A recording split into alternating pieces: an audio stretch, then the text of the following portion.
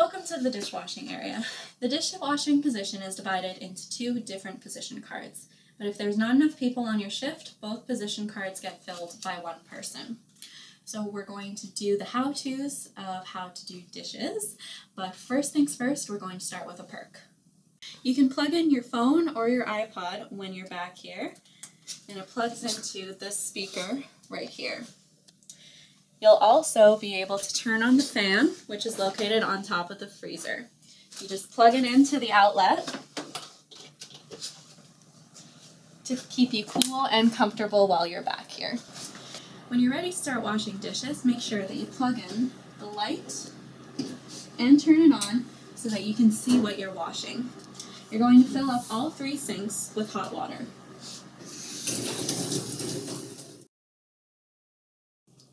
All of our dishes at Agora go through the three sink system. The first sink closest to the wall has soap in it. You want to put the soap in while the sink is filling up so that you see this bubbly consistency.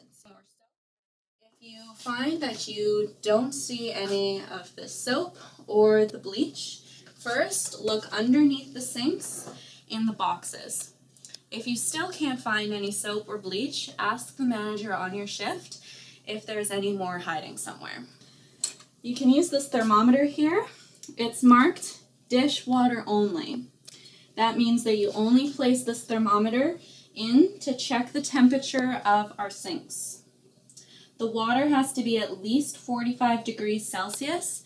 If it drops below 45 degrees Celsius, you need to empty your sinks and refill them. So we're still good at about 50 degrees Celsius. The other thing you have to do is make sure that the bleach concentration in the sink is not too high and not too low.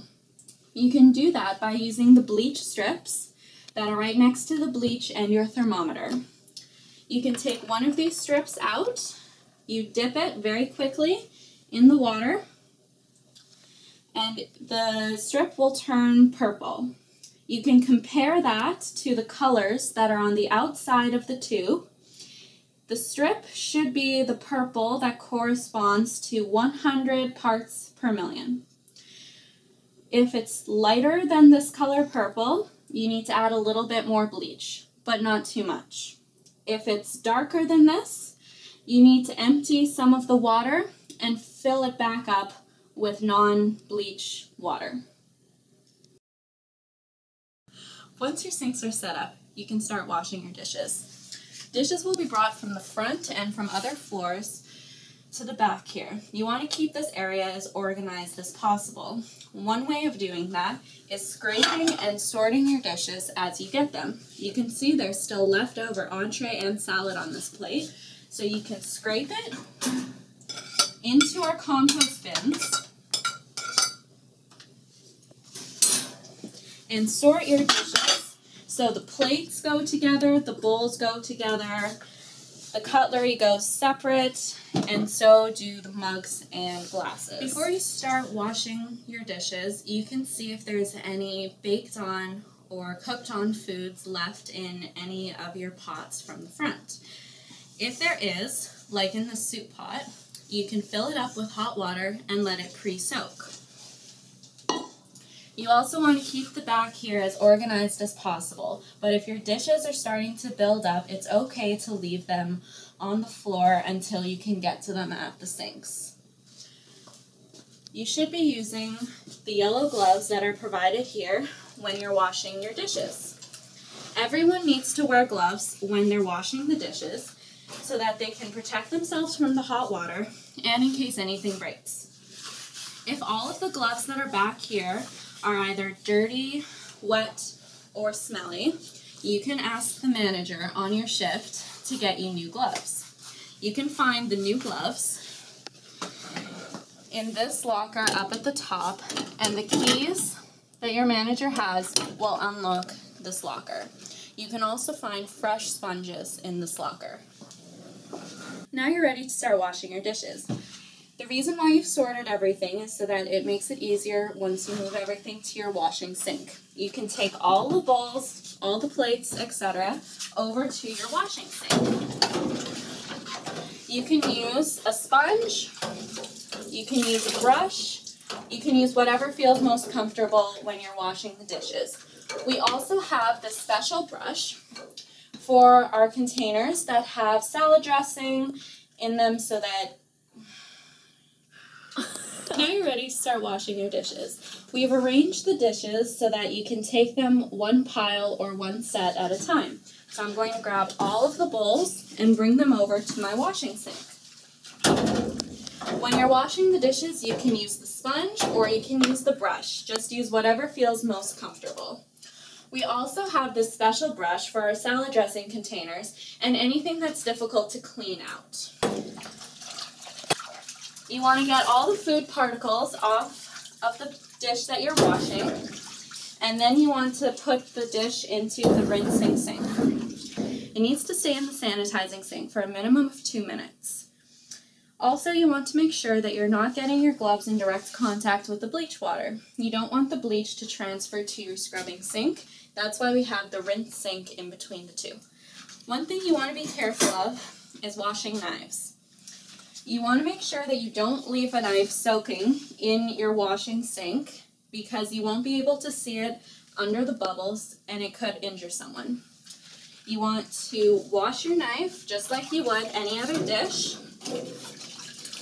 rinse it just the same. But when it gets to the sanitizing sink, you want to sanitize it upright in this section where the plug and the divider is.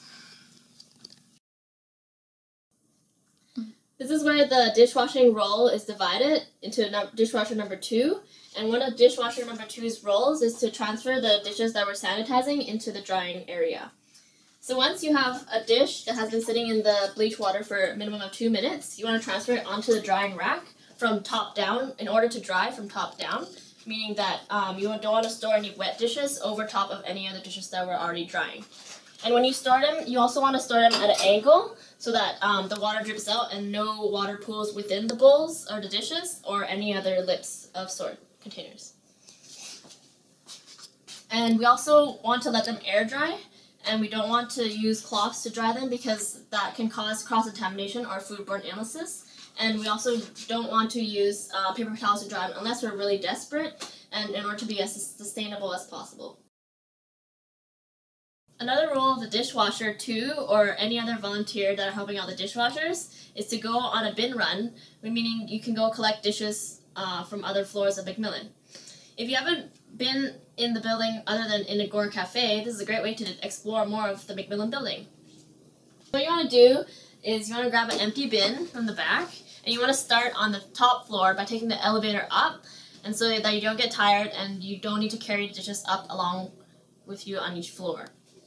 Um, if it's not busy, you can ask if there's another volunteer on shift that would like to come along with you so that you can carry all the dishes back down without doing multiple trips at one time. You want to look for uh, Agora dishes which have the stamp on it painted in red or any other dirty dishes that are on each of the levels in bins or on tables on each of the floors.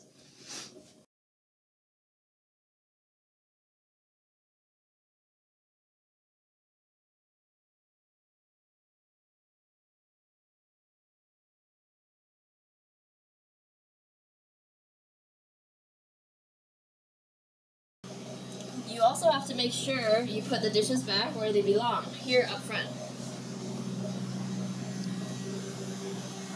This is how you stack plates. You want to stack the bigger plates at the bottom and the small plates on top or in their own pile. You don't want them to fall over. This is dangerous and this is safe.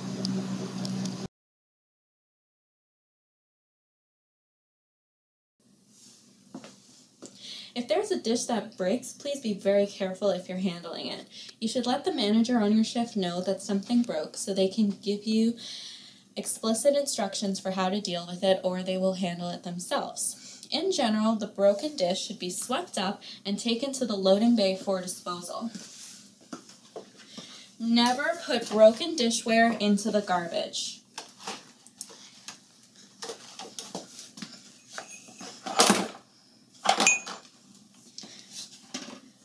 Now you can follow me to the loading bay and I'll show you what we do with broken glassware.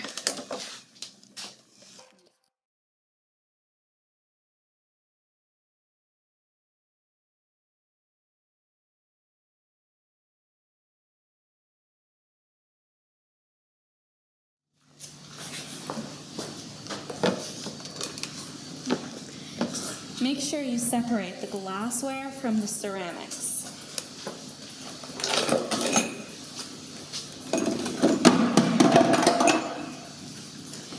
Always be very careful. We don't want you to hurt yourself if you're trying to take care of broken glassware or ceramics.